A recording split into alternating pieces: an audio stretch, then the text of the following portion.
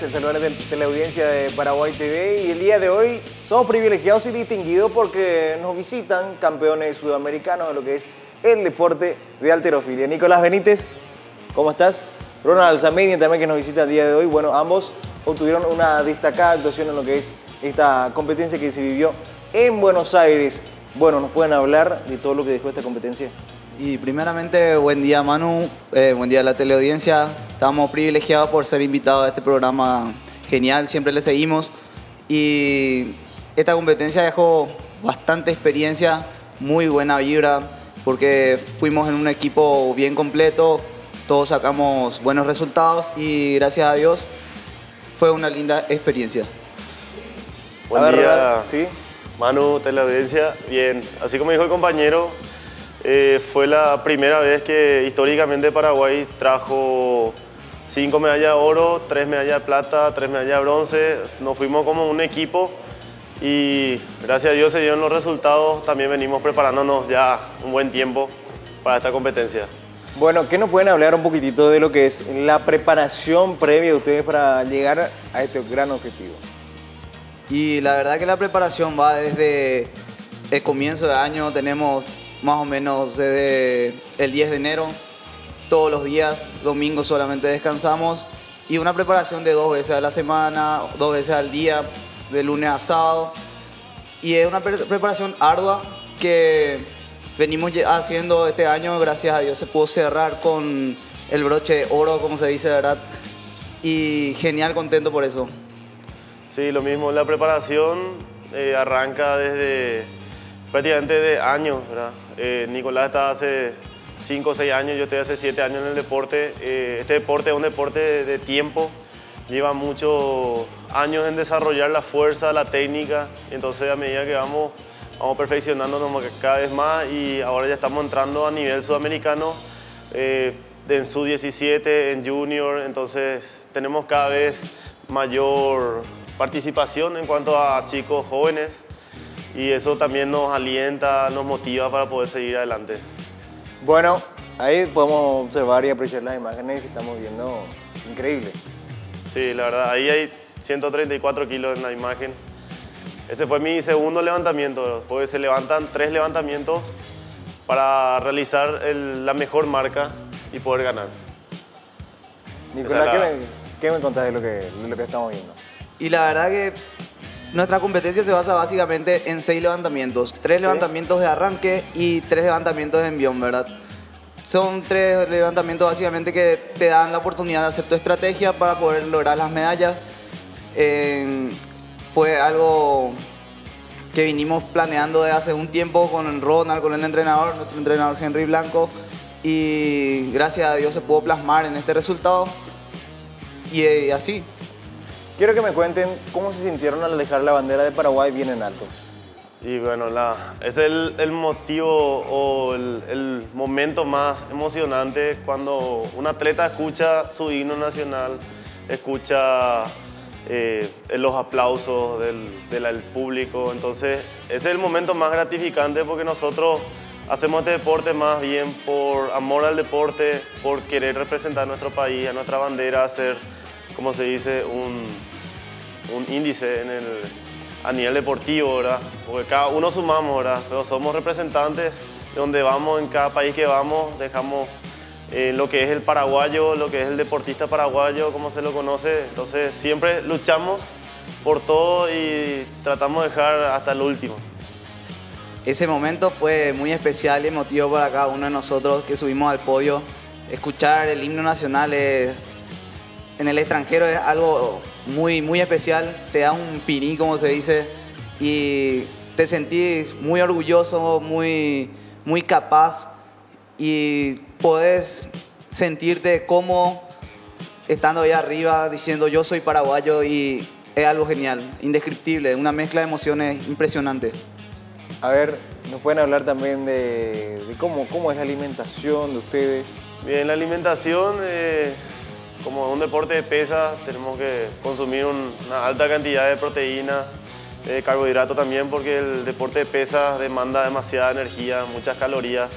Entonces no podemos descuidar la alimentación porque prácticamente es nuestro combustible para poder levantar cada vez más, para rendir mejor. Entonces, prácticamente de lunes a sábado, así como dijo mi compañero Nico, los días que entrenamos, nos cuidamos desde el desayuno, la media mañana, merienda, todo completo. Así mismo, y añadiendo a lo que está diciendo Ronald, eh, nosotros, aparte de ser atleta, también somos estudiantes, somos laboradores, ¿verdad? Y eso exige mucha más energía, ¿verdad? Entonces necesitamos cargar bien las energías todos los días y se traduce en esto, gracias a Dios. A ver, mucha gente del otro lado de las pantallas, al ver también el resultado, ustedes, muchos ven, por supuesto, lo que es el resultado, pero ¿qué es lo que hay detrás de todo esto que la gente no ve?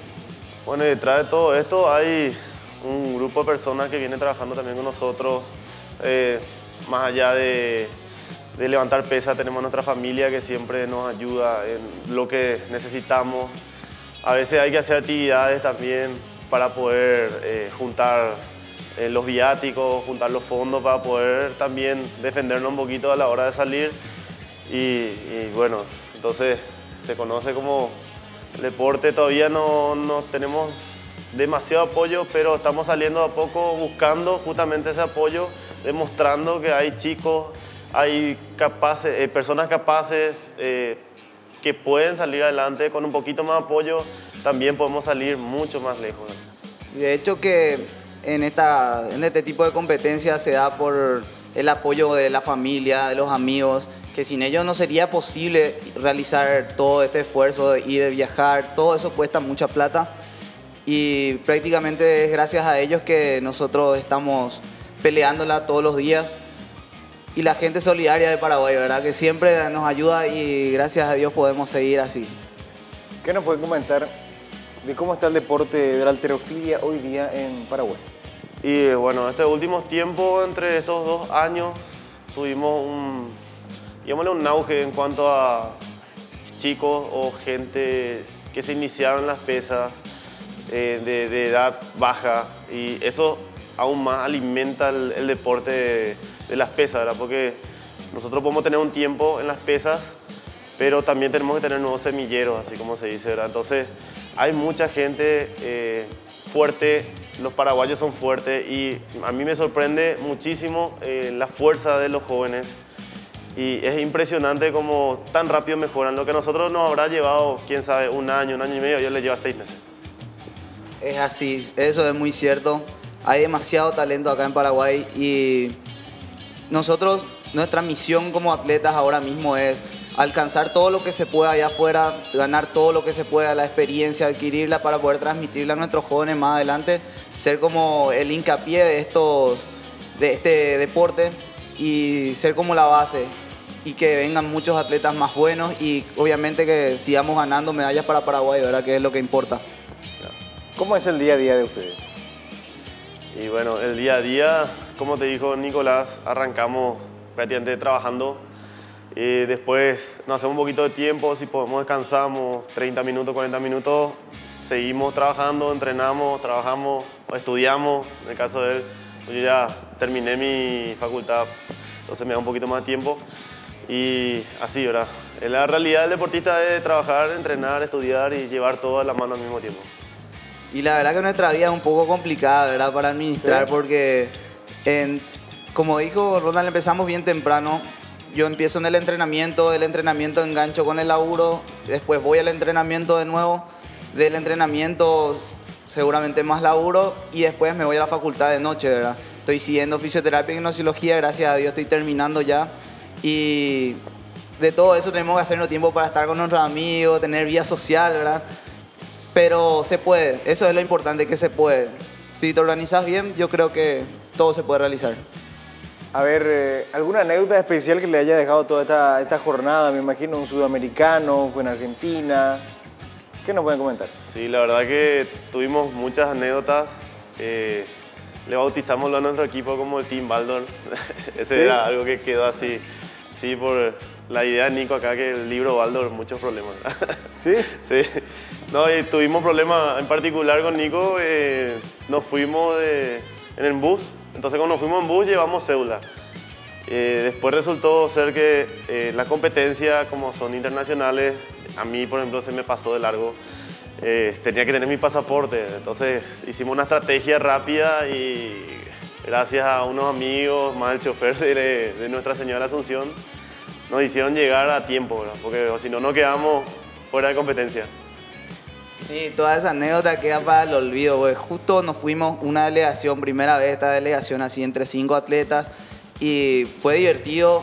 Teníamos problemas a la vuelta de la esquina cada rato, pero era, era ya parte de nosotros, ¿verdad? Ya nos divertíamos con esos problemas y decíamos, bueno, todo va a salir bien. Y ya aceptábamos nomás ya. Entonces yo le, le bauticé a este grupo como el Team Baldor, ¿verdad? Porque estábamos llenos de problemas, pero siempre salíamos adelante igual, lo resolvíamos todos juntos como equipo, ¿verdad? Y lo del pasaporte fue algo, hija. No, no, no esperaba eso, ¿verdad? Y yo dije, no compito acá, vine al pedo, ¿verdad? Pero bueno, gracias a Dios se pudo resolver ese tema. Competimos, ganamos incluso y como te dije, se resolvió al final y contentos todos por eso. Lo importante es que se solucionaron los problemas y llegaron las medallas más allá de todo lo que pasó, ¿no? Sin sacrificio no hay victoria, dicen por ahí, ¿verdad? Entonces yo creo que todos esos sacrificios valieron la pena. Me imagino que habrá, sido un momento tenso cuando se enteraron. Paró la respiración, así no quedamos. ¿Qué hacemos ahora? Tanto Empezamos a buscar cómo se enviar por vuelo sin enviar. Y bueno, encontramos un camino. Y aparte también que como fuimos solo atletas, yo fui como el coach y también entrenador.